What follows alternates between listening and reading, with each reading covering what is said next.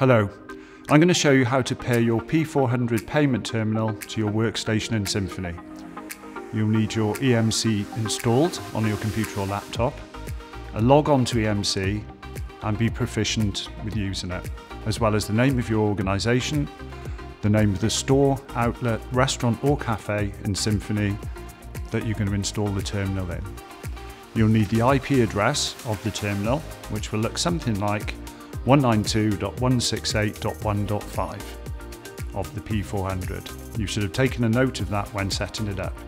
Each P400 pairs with only one workstation, so you'll need to ensure that each of the terminals is always used with the same workstation. If you lost the note of the payment terminal IP address, you can go back to the terminal, press 5, then the green circle, and you will see the IP address listed. Log into EMC, select the property, in this case the hideaway, then, before hardware and interfaces, we will see clients and printing, and then workstations. Double click workstations. Look for the workstation to which the payment device will be connected, workstation 1 in this case. Double click. From the devices tab, click add. Uh, select Simphony Payment Interface, which is near the bottom of the list. And we now need to configure the IP address of the primary host.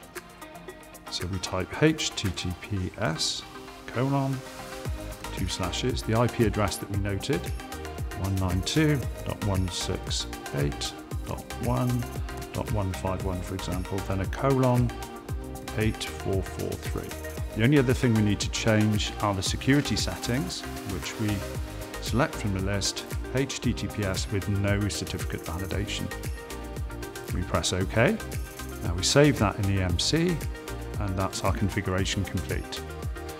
We can now return to the workstation and run a test payment transaction.